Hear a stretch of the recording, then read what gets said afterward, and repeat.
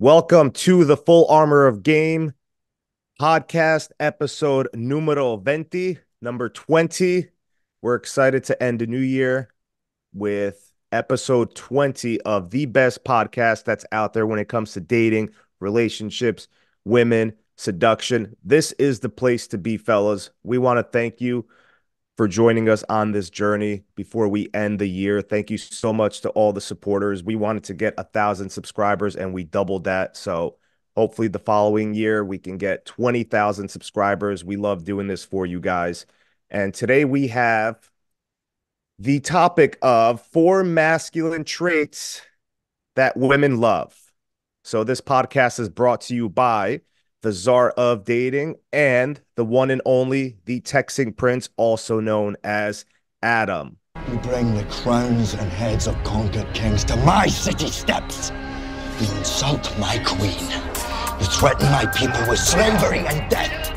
This is Sparta!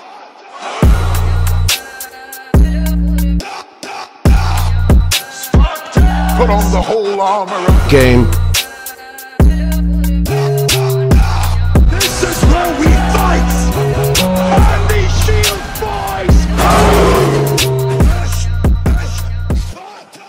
Before we start, he's going to give you a quick introductory on what we have going on before the new year. Okay, so guys, listen up. This is very important. Adam, take it away. All right, guys, we officially, all of you guys that have registered for our five week coaching program, it starts this coming Wednesday, 7 p.m. PST, 10 p.m. Eastern Standard Time. We have one last spot left for that 7 p.m. PST slot time. So if you're interested, we have all the information at the first link below in the show notes that you'll see.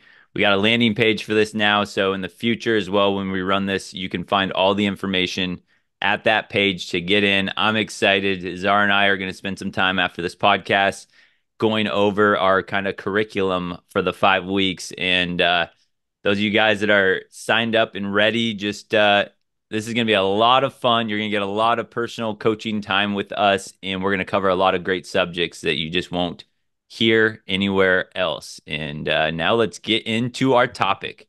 Mm-hmm. So, why is masculinity so important? Why are masculine traits so important? Okay. Every single time I find myself in a problem when I have in a problem that I have with a woman, if I'm in a in a in a bit of um a pickle, I work to amp up my masculinity. It always works to increase the girl's attraction for me. So if I'm in a specific problem spot with any type of woman, amp up the masculinity, fellas. Masculine traits include courage, independence, assertiveness. We all know that. If you didn't know that, I don't know where the fuck you've been. You've probably been hiding underneath a rock, but you should know that by now. Previous research shows that masculine features are associated with markers of healthfulness, including upper body strength, less oxidative stress, and fewer bouts of illness. In addition, elevated testosterone levels are linked to a powerful immune system response. Masculinity is also reflected in your overall strength and size. That's why we keep preaching for you guys to focus on your diet and your fitness. There's no excuse to be fat and obese as a man anymore. That shit isn't going to cut it in 2024, fellas. If you're not in shape, if your diet isn't on point, no one is going to take you seriously in life as a man. No one's going to listen to you. No one's going to care about anything that comes out of your mouth. This is how important your fitness and diet are. So, the the first masculine trait that every man should have. If you're not at that point, you'll get there, especially when you're in a relationship or you have a girlfriend. This, I believe, is the biggest problem in men. Okay. It's leadership abilities. So, leadership is a display of confidence, social intelligence, risk taking, and ambition. Leaders tend to influence others to help achieve goals, which is also a display of dominance. And Adam, you know this as well. One of the biggest issues that men have when they get in relationships is they start giving away those leadership abilities to the woman. They become lazy, they get too comfortable, they give their power away. And that's the downfall of a relationship. You never give your leadership abilities away to a woman, fellas. You are the driver at all times. You're behind the steering wheel. It's no one else but you. And your woman should never be behind the steering wheel. And I'll give you a great example. I'm on campus dating this beautiful feminine girl. We were already making out, having sex. She would always follow me. I wanted her to be slightly two feet behind me. And one day, as we're walking, she she asked me, she's like, Where are you taking me? And I said, Listen, just be quiet. Let me take control and lead the way for you. You sit back and be that beautiful feminine woman that you are. And she never brought it up again. She always trusted me to take the lead for her. Okay. What do you want to eat, babe? When they ask you that, you need to have an answer, leadership abilities. Don't tell the woman, oh, I don't know, babe, what do you want to eat? You always make the decisions unless if the decision is something that you need to discuss with her as a whole of the relationship. Other than that, you always make the decision. Okay. And Adam's going to touch up on ambition because that's also part of having leadership abilities. Yeah, and actually, something you brought up made me think of something that just happened last night when you talked about the leadership and giving that leadership role to women. And what is one of the most common things? It's just like a joke now, but everyone repeats it is happy wife, happy life. And what mm. are you mm. doing there? You're literally submitting your leadership abilities to your wife. And I was playing pickleball last night with a guy and his uh, long-term girlfriend, and then it was me and another guy. And one of the the guy I was playing with, he asked something to the other side, the the couple, and the guy answered, and the, and then he goes, "I wasn't asking you, I was asking the boss." And then the other guy right away laughed and he goes, "Oh," he goes, "I know." He goes, "He goes, I know who's in charge," and he saluted the woman he was with, like you're my captain, you're my general. and so it was everyone laughed. It was just like a joke. But that's like such a under like un an overall mainstream mindset and view that a lot of guys take on and they laugh about it. Like yep she's the boss. We all know who runs the show. She's the boss. And that is the exact opposite of harnessing those leadership abilities. And along with this leadership thing is ambition. Um, ambition and even competitiveness is what I think of with that. Is it a guy that has ambition that's going places? He's always looking to improve. He's always looking to better himself, his situation, the people around him. That is a really attractive trait because we we always talk about hypergamy, right? Where a woman wants a highest status man that she feels she can attain. Well, the trick with all of that is that if you're a guy that has ambition, you're a guy that has goals, you have drive, you're always looking to uh to achieve more, you're always looking to achieve bigger goals, then think of that in the hypergamy perspective. If that girl can never pin down where your actual potential lands because you have so much of it and you're constantly improving, then you're always up there uh, it with one of the top guys that she could ever find because she never sees your your real potential. It's the guys that become comfortable with mediocrity that then those women look around and they go, "This is all this guy's going to become," and that's when her hypergamy starts to go. Well, I feel like I can do better, and then she starts to look elsewhere. So, along with leadership, that ambition and competitiveness are great masculine traits to harness and sharpen in your little uh, attraction tool belt there. And and and men that have high levels of testosterone, they have a greater sense of direction. So testosterone gives you a greater sense of direction, which means you are capable of having great leadership abilities. I'm not saying all men just because they have high levels of test, but there's a correlation. That's why women find that man so attractive. Okay because the more testosterone you have, the better sense of direction you have. You know where you're going at all times. Okay, you're hiking with the girl. She says, "Oh my God, we're lost. Uh, what are we gonna do, babe? Shut up. Follow me. I know where we're going." It's having that type of leadership abilities, fellas. Okay. You always know where you're going at all times. Even if you're not sure, you are confident you're going to make it out of this situation and your girl is going to follow you. She's never going to lead the way for you. You're going to lead the way for her. Okay. Yeah. Oh, and uh, another thing, and another thing before yeah, yeah, before before we we move on, right? And you know this, Adam. Okay. A new study has shown a full 15% of women have admitted to sleeping with their boss. Okay. And I, I believe from our experience, more than half would have if the boss had wanted them and acted on it. Okay. So I think that number would have been higher if the boss actually acted upon what the woman wanted. So power is an aphrodisiac for a woman. Ambition is an aphrodisiac for a woman. Leadership abilities, same thing, fellas. Well said. Uh, the second masculine trait that women are very attracted to is men that have have cultivated an abundance mindset. And this can happen in a lot of different ways. It doesn't just have to be with women, but you know the old cliche, uh, there are plenty fish in the sea. And it's like there's, you know, if this girl doesn't want you, there's another one out there. It's like the guys that really internalize having that abundance mindset where they're not scraping, clawing, desperation to try to get that one girl that they want because they feel that, oh, she's the only one, she's the only one for me. That becomes it looks weak in a woman's eyes. It looks uh it looks beta in a sense too because it looks like oh he can't get all these other options. So he's sitting here holding on with clenched hands to that one option he can get.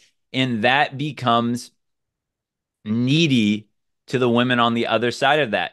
The guys that have abundance mindset they know that opportunities are always present now that doesn't just mean with women but that means with all things in life something happens, a business deal doesn't go through. Well, guess what? There's plenty of other opportunities. It's not that guy's not going to sit there and beat himself up for missing out on that one opportunity because he knows there are opportunities everywhere. And having that type of mindset where you're not desperate for any one little thing working out because you have backup plans, you have other options, you're confident in yourself that you can get things done, you can find other opportunities, you can find other women if this woman isn't working out, if she's not uh, playing by the standards and the expectations that you have, that is something that really comes off as pure confidence. Neediness is not a masculine trait. Like you were basically saying, having a scarcity mindset, that's not a masculine trait. An abundance mindset, that is a masculine trait, uh, a masculine trait. And I, we always talk about this, right? One of the most unattractive qualities that a man can have is neediness, then seeking her approval, then being boring, and then being too predictable. But neediness, if you're a needy barnacle and a girl even senses that type of thirsty, needy energy from you, it's game over. You can't come back from that, fellas. Neediness is something you cannot come back from. And if you have a scarcity mindset, listen, those that are hungry do not get fed. Okay. Just as a starving person will accept almost any food and a well fed person can be more selective, an insecure person will accept almost anyone who expresses interest, while a secure person will be more selective. And that perfectly describes why need lowers attraction. It communicates low self esteem and that you are starving as an attention from attractive females. A man in demand simply does not have time to display any of these needy traits. So, like you were saying, uh, Adam, you need to have an abundance mindset. Like that is a masculine trait. We always had things in abundance. We were never worried about one thing disappearing or one thing suddenly vanishing. We don't give a fuck because we know we can find another one. We know we have several other resources we can get. I always tell guys, how would you act? I don't want anything to be an act, right? But until you get there, right, you slowly have to start acting as if you have 30 women that are dying to be with you. You have hundreds of women that are calling you every month just to hang out with you. You need to have that mindset because when you walk around with that type of confidence, other women sense that. They know the, the guy that gets women. They know who that guy is by the way they carry themselves. and they never have a scarcity mindset. Okay. That's definitely not a masculine trait. If you have an abundance mindset, you have multiple options with, with women or opportunities in life. It allows you the freedom to be a risk taker. And we know that high risk gets you high reward. So being able to say edgier things to women, being able to put your foot down, being able to have standards and enforce them, that is so much easier when you have an abundance mindset, when you have other options, because you're not scared, you're not playing safe, you're not worried about losing one. And that is in turn attractive to women, kind of that bad boy vibe. So even if you are with one woman, but you have this abundance mindset, then you're able to act in ways that you should be acting and able to enforce those boundaries because you know what you expect, you know you the treatment that you expect, and if it doesn't work out with this girl, it's not going to freak you out and, and throw your life off because you go back into the ocean of different women and find a new one, but you're not allowing her to dictate you to play scared. And I like that you said risk taker because women are attracted to men that do take risks. So results showed in a study um, women who rated the attractiveness of risk takers. So the results showed that women said they would be more attracted to men who engaged in hunter gatherer risks, the kinds that were similar to risks faced by ancestral humans. So they love men that are risk takers. That's always going to be another masculine trait, which was a, a very great point that that you said. Um, so my next masculine trait, okay. Masculine men are very unapologetic. They're unapologetic. Just think about Donald Trump. Okay. Whether you're Republican or Democrat, we don't care. We're just using Donald Trump as a great example because usually we do use him as a great example. So he's very unapologetic. He says what he means and he means what he says. And women find that very, very attractive. Okay. He's brutally honest, but yet he's also selective with his honesty. So, what do beta males and nice guys always do? They always apologize. If you really pay attention, nice guys apologize to women all the damn time. They apologize for everything. And this has been proven to be seen as weak. So, guys that feel they have more sexual value than the girl never apologize. Never. If you say something as a man, this is my opinion, you should never apologize for it since it already came out of your mouth. You should know what you're going to say before it comes out of your mouth because we're not acting out on our emotions as men. I've been there in the past where I said some cutthroat things that hurt the girls I was dating because I said those things out of emotion. I wasn't calculated with it. But as a masculine trait, you always want to remain stoic. Do not act out on your emotions. Now, if you don't act out on your emotions, that means you thought about what you said logically. It came out of your mouth. So why would you apologize for that? Okay. Say what you mean, mean what you say, own up to it. So always try to stay grounded. Now, if you really fuck up, apologize. Okay. But that should be very rare. If you don't believe me, the next time you have an argument with a woman, what I want you guys to start doing is start apologizing a lot. See what happens. She will likely begin attacking you even more. She will also withdraw from you more. But if you hold your ground and you look stronger and hence trigger attraction, a girl does not have to like you to sleep with you, fellas. She just has to feel attraction. So hold your ground. Makes eh, when you hold your ground as a man, it makes you look stronger okay?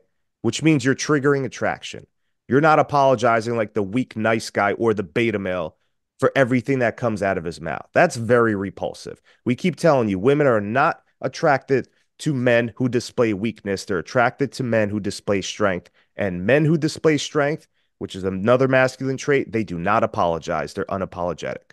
You give her that look like, yeah, I just said that. What are you going to do about it? But you never take it back, fellas. Never apologize, never take it back if you're dealing with women. If it's your family members, friends, coworkers, and you say something messed up, go ahead, apologize. Okay. But never to a woman you are dating. Yeah, some a, a good point you just brought up too when you mentioned the Trump thing about say what you mean and mean what you say is that flip-floppers can't be trusted. You say one thing and Mm. all of a sudden you apologize. I shouldn't have said all, all that and now you're you're saying one thing, doing something else and now you're a flip-flopper. And what happens then is Mhm. now the woman can't discern whether to believe you now. She can't believe your word doesn't have that same value to her anymore because, well, one day you say this, the next day you say, I was wrong, I shouldn't have said that. And you're going back and forth, and now you're a flip flopper. Flip floppers are indecisive. And we know that women are attracted to decisive men, men that make decisions quickly and they stick to those decisions. So when you're constantly flip flopping, a really simple, easy example I give guys is like if a girl asks you your favorite color and you said purple, like that's my favorite color. And if a girl's like, "Oh, that color, oh, that's such a that's a girly color. That color stinks. Green's way better." And the if the guy's like, "Oh, actually, yeah, you're right. Purple, I actually I actually really do like the color green." It's like she no longer can trust anything you say because you're folding. You're folding to any type of pressure rather than just stand your ground and be like, "No, purple's obviously the best color in the world." I'll debate that with anybody. Mhm. Hey, Mhm. what's your favorite color, by the way, Czar? Black. Like, oh, I like that too. Black, like black, black. And whenever, whenever I wear a lot of black uh, outfits, especially to the gym and out. So girls always ask me like, "Why do you always wear black shirts or why do you always wear black pants?" And I tell them because that's my favorite color, like my soul or my heart. And I give them that look. Instantly, instantly see, gets a I, smile and I agree. them. I like the color black, but it, I'm not going to be like, oh, actually, no, Czar, you convinced me my favorite color is black now. Oh, you're Mhm. you're right. Purple stinks. Black's the best. Those are Yeah, do but actually I'm wearing both of those colors. Those are great colors. you are, and it's also your favorite team's color. So the Vikings, the yeah, Minnesota that makes Vikings. it easy. Yeah. But but honesty also it doesn't mean being an open book. A lot of guys believe that being honest means you're an open book. You tell a woman everything. No, it just means that you are very congruent with your life. Okay? So if you say you don't date girls that are covered in tattoos, you had better not be dating girls that are covered in tattoos. Okay? You're congruent with what you say with, what comes out of your mouth. So, you know, most people say they're honest, Adam, but let's be honest, they're lying about that. Okay. They're all lying about that. Like, you can't hope that you are the prize. You have to know it. So, when you're communicating with a girl, being honest will be felt as congruent and trigger attraction. Being dishonest is felt as deception and it triggers danger alerts in her mind. You cannot be deceptive, fellas.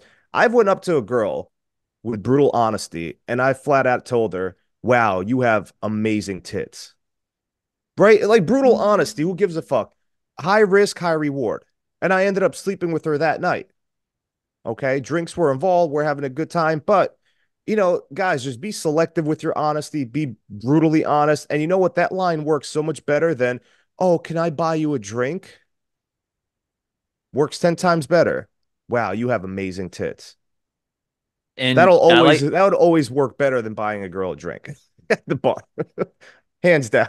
So I like that you said the selective honesty too, Yeah. because on one hand, we can say guys being honest about their intentions or whatever is, you know, masculine trait because you're just being out there and saying what you want. But it's selective honesty. It's like there's certain things you shouldn't say to your boss, even if it's something that you might think, because it's not smart or strategic to say that. In the same way, mm-hmm. if you're a guy that is fearful about something, you have anxiety or you're feeling sad about something, those are not the honest things that you want to bring up to women. They don't want to hear that. They don't want to, they want you to be that that that pillar of strength in her life. She wants you to be that rock. So being honest, like that, I'm afraid. I, I don't know how people teach it, but with so many people going to therapy these days, I'm afraid that guys are getting the wrong idea about, yeah, you have to be so honest and be open and honest with her and communicate your feelings and all that. But it's like, uh, I see so many times posts like this or guys message us about like, well, I, I was just trying to tell her how I feel and I cried in front of her and all of a sudden she looked at me differently. She wanted to break up with me. It's like, yeah, being honest about everything in your world is not it's it's not for everybody. There's things there's certain things that you need to hold in, work on yourself or maybe talk to your male buddies about it and try to figure out a game plan, but there's certain things that you're not supposed to be honest to women about. They don't want to hear about your fears and insecurities and all that. They want you to be Superman in a sense, mm-hmm. to where there's someone that they can always look up to. Yeah. And Kanye West is a great example. I love the guy, but he doesn't have selective honesty. He just says what comes to the forefront of his mind, and that's not masculine. Like you have to be able to control what you say, fellas. You can't just be saying all these things, offending certain people, disrespecting others, even though you believe you're being honest about what you're saying. That's not selective honesty. That's just being very reckless. That's acting out on your emotions. And that's being very stupid in the end. Very stupid. Yeah. In the fourth, the fourth trait I have about masculine traits that women love is I call it, I, I say like non reactivity. Um, but another way you could say it is um, being in control of your emotions. You're not never getting way too high. You're never getting way too low. You're steady. You're not so reactive to things that happen to you, circumstances that happen. Uh, if you're with a girl, you say something to her and she says, "Oh, I didn't like how you said that and all that," and then all of a sudden you get reactive and you start apologizing. Oh, I shouldn't have said that. All that that becomes you're not holding that emotionally mm-hmm. steady line. You're being too reactive.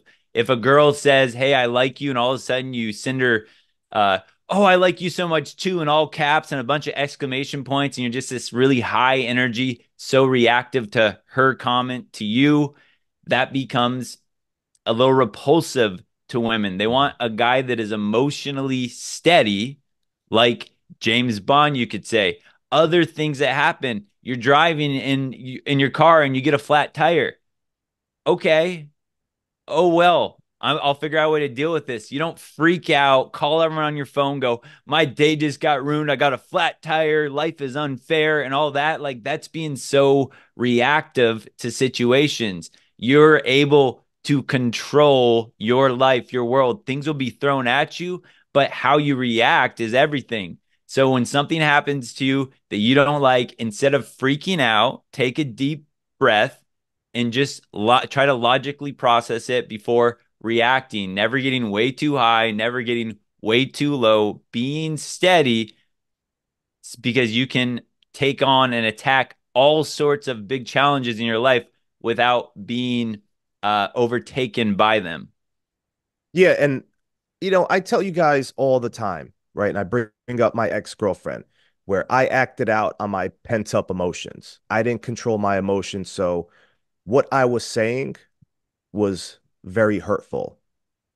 Instead of taking taking some time to to think about what I wanted to say, calming down and thinking rationally, like, okay, what should I say? How can I handle this situation where I don't offend her? I don't look like I'm an emotional beta male who can't control his emotions, who's very volatile. How can I figure this out? And a lot of you guys get caught up in situations where instead of taking the time to calm down and to think about what you're going to say when you find something out about your girl, or if she sends you a certain text you don't approve of, it doesn't sit right with you. Fellas, take a breather, think logically because when you text a girl back based off of your emotions and you're really amped up, you're going to say certain things that you can't ever take back. And that's why me and my girl broke up. At that point, that's it. It was broken. And you guys know that story. I, I was seeing the guy from our physics two class leaving flirty comments on her social media pictures, talking to her in a way that I didn't approve of, leaving her heart emojis, flirting with her, just being being a fucking cornball. Like you could tell he was really attracted to her. He was trying to to get with her. And I I freaked the fuck out. And I messaged her and I said, "Hey, listen, if this person messages you again or if he leaves a comment again that's disrespectful to me, I'm going to knock him out." Right? And it just it, it led from one thing to another. Okay? So I told her I'm going to tell him, I'm going to message him to stop fucking messaging you and to stop leaving comments. And she said, No, you're not my father. I can handle it. And I said, Well, go ahead, then fucking handle it then, if you're such a big girl. And it, it just turned into such a heated argument. And I could have handled that situation so much better, fellas. So much better. We had amazing makeup sex that night. but but still the relationship was already over at that point. Okay. So, you know, control your emotions, like Adam said. You have to think rationally as a man. And I learned from that situation. I don't ever send out a text or I don't say something that I don't think logically of. I don't think rationally of. Okay. I'm never going to say something that's based off of my emotions anymore. Yeah, and and that's the beauty too of something like texting is that if you're still working on getting, you know, less emotionally reactive in person, it's hard to hide than when something happens. But on text, there's no excuse because Mhm. you have the time to sit there and think about it, take your deep breath and rationalize it before freaking out and sending it. So when you're getting emotional in text too, that's bad because too, that's written proof of your emotional, you know, just jumping around because she sees that she can look back at that text anytime. So there's really no Mhm. excuse for emotionally texting once you learn this as well. And even going back to the podcast we just did last episode about the evil side of women, how women have been armed with with that being psychological ninjas. They're armed with that being able to get in a guy's brain and kind of pull it apart and mm-hmm. twist it and turn it, whereas men have that physical strength. So because women have that kind of superpower, when you get emotionally reactive or you get so emotional with women, that is again, it's like her gaining dominance on you because in her field, she's so good at be about playing those those psychological levers on you that if you react to them and you take her bait, in a sense, she's winning. She's like, okay, look at this. This guy can't even handle her, himself. And then she almost is encouraged to play with fire and push it further and further just to see what's going to happen. And that that's mm-hmm. a, an area you don't want to be in. And and when women say they feel unsafe with certain guys, well, if men are physically bigger and stronger than women and they can't control their emotions, now a woman does actually have a legit reason to be fearful of these guys and not feel safe because if she says something and that guy gets reactive, then bad things can happen. So in order practicing this this kind of emotional steadiness, non-reactivity is very very powerful and it makes women comfortable to be around you. Yeah, and I failed the congruency test as well because up until that point, I was this smooth, stoic, alpha masculine male that she loved. And then all of a sudden, that's it. It just shattered very quickly. And the same thing happened to Will Smith when he slapped Chris Rock. He was acting out on his emotions, but that's not the person that he is. And that's why it didn't work. And Jada kept shaking her head because she knows Will Smith ain't that guy. A lot of a lot of people miss that point that that's not Will Smith. Like Tupac would have been that guy because Yeah. that's that's him being congruent with who he who he was. But Will Smith was so incongruent because he goes home and he's still a bitch. Okay. He's still that puppy dog. So it, it, it actually made it worse. In my opinion, when you act out on your emotions like that, it makes it worse.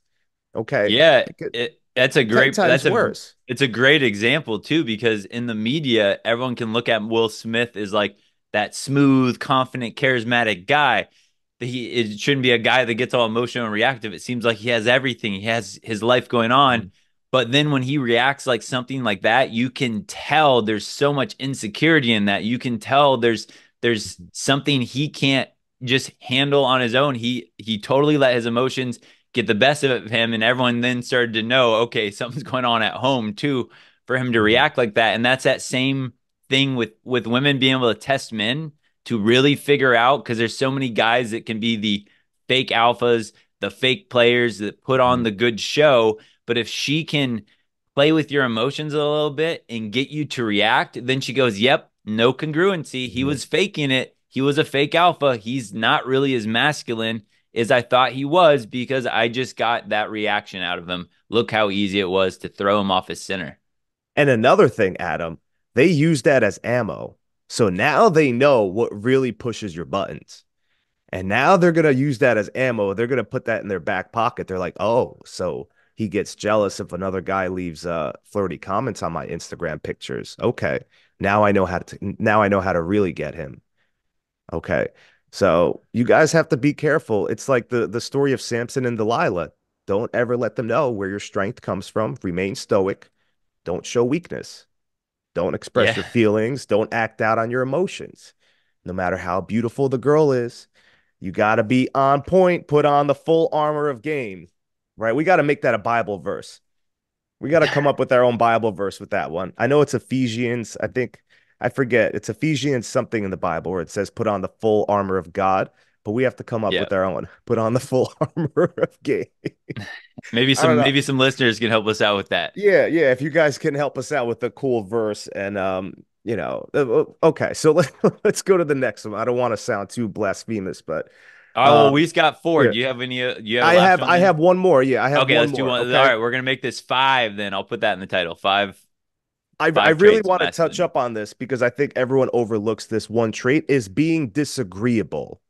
Now, hear me out, fellas. By disagreeable, I do not mean being obnoxious or unpleasant. No one wants to be around those people. But being disagreeable means that these men are willing to take social risks, to do things that others might disapprove of.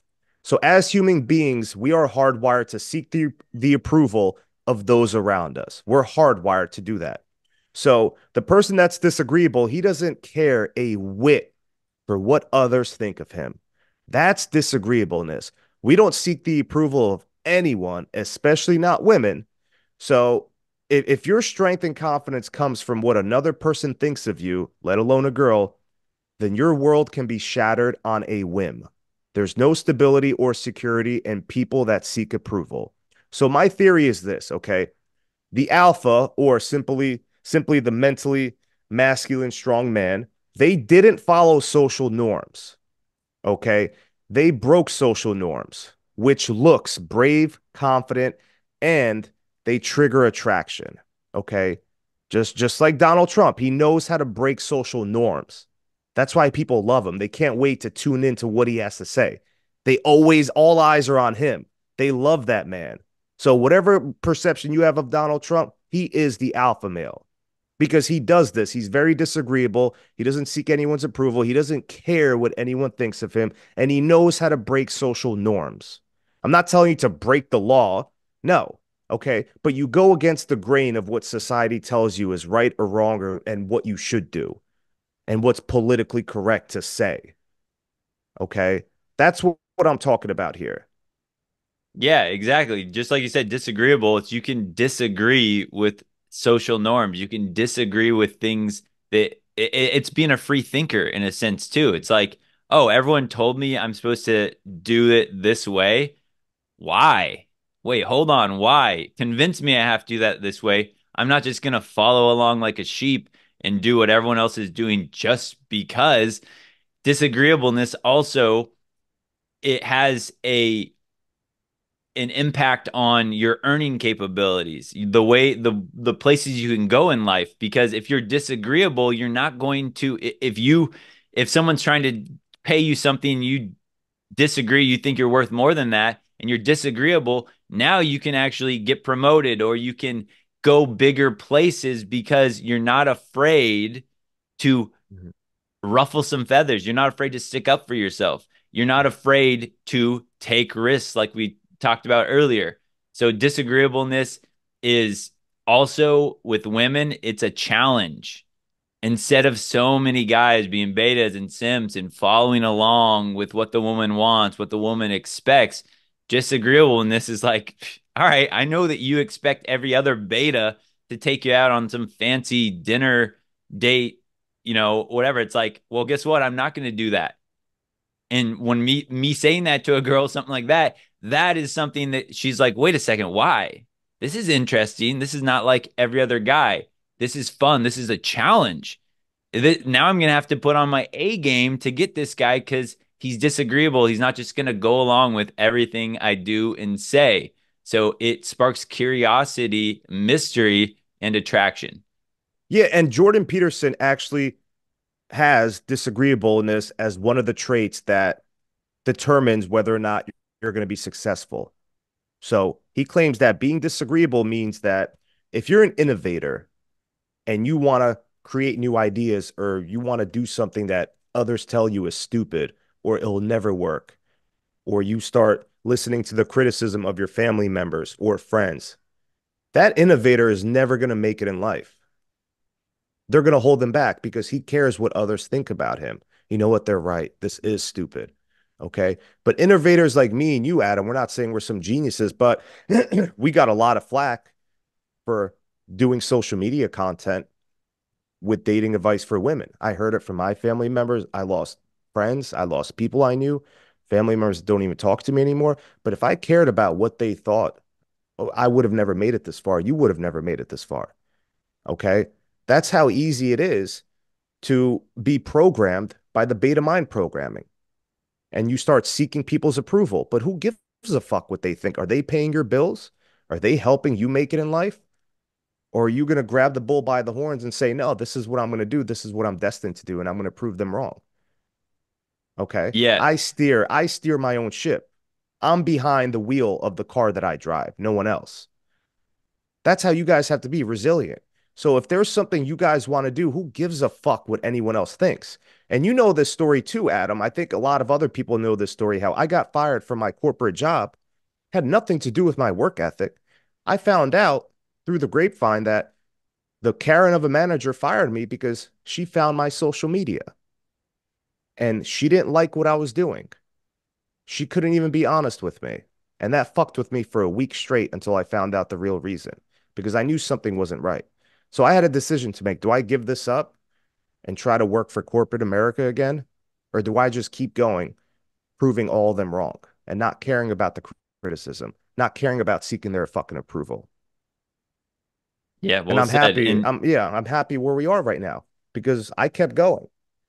and I, and I do want to just uh end with agreeing again with what Czar said earlier about disagreeable does not just mean being obnoxious. I have some buddies that have heard this type of advice around women, and now they're like a little second grader, just trying to disagree with everyone on everything just to try to like make a statement, but it's just like pointless, and people are just just get frustrated with guys like that because they're just poking the hive, that annoying little kid to poke just to poke. Disagreeableness is like knowing what you're worth, knowing what you want, knowing your preferences.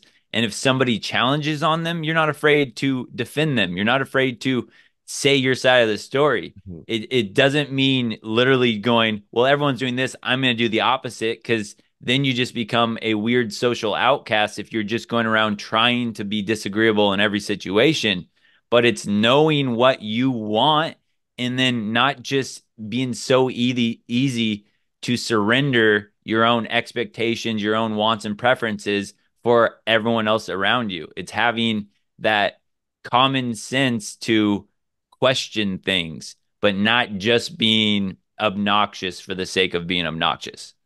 Exactly. Yeah, find that right balance, people, uh, fellas. No one wants to be around a miserable, obnoxious person who uh who's unpleasant to be around. That's not the message we're sending here. Okay? But if anyone tells you you can't do something or that's a stupid idea or you're facing criticism, do it. Keep going.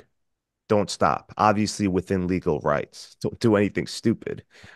Okay? Yeah. Be smart about it. Be calculated. Okay? We love all of you guys. Yep. All right. Thank you guys for listening. I just realized this podcast will be coming out Tuesday. So, as of right now, there's one spot left. You'll have to check out the link for the landing page if you want to join that five week coaching package. It's going to be awesome. And uh, those of you guys that uh, are already on board, we will be talking to you real soon. In fact, by the time this podcast goes out, we'll be talking to you, to you tomorrow night. Yeah, Mhm. tomorrow night will be the first one for this new group. Look looking forward to it. And we're going to hold your hand and walk you through from beginning to end. The approach, the attraction, the comfort building, all the way down to seduction, and then how to keep her properly. Yes, So- and there's never there's never a bad question. I 1 million percent would rather have a guy be honest with me, tell me, "Hey, I don't really know what this means. Hey, here's what I've been doing," or they go, "Hey, I sent these really beta text messages." Mhm. And not being scared to show them. I never judge a guy because I know where you came from. I know how I started. Just like me and Czar both know what it feels like to be completely helpless amongst women.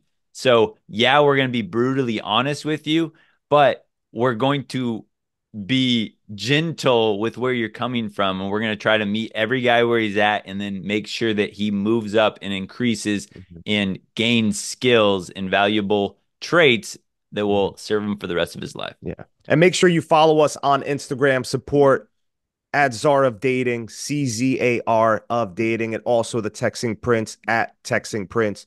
Support us. If you have any great emails, send it to us. Our emails are in the description as well, fellas. So if you have good stories that you think other men can learn from, okay, we will read them in the beginning of certain podcasts and we will give you guys the solution. We'll go over it in detail. That's how much we love you guys. Yep. All right. Take care, guys. See you next week. Take care.